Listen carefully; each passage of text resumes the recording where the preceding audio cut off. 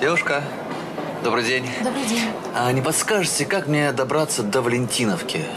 Сейчас, секундочку, я посмотрю. Так, сначала поездом до Смоленска, потом междугородним рейсовым автобусом. А, м, спасибо. Да, кстати, девушка, а не подскажете, как мне там доехать до улицы Розы Люксембург, это Валентиновки? Секундочку. Значит так, от автовокзала на автобусе 32 три остановки. До остановки кинотеатр «Дружба». Потом пешком до бани, затем налево до конца улицы. А, запомнил. Как мне там найти Юдина Сергея Алексеевича? Секундочку. Так, так, так. Юдин Сергей Алексеевич.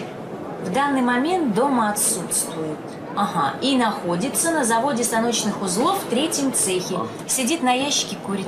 А, спасибо. А, подождите, подождите, простите, я ошиблась. Он уже докурил и возвращается назад в цех. Спасибо большое. Не за что. С вас 18 тысяч рублей.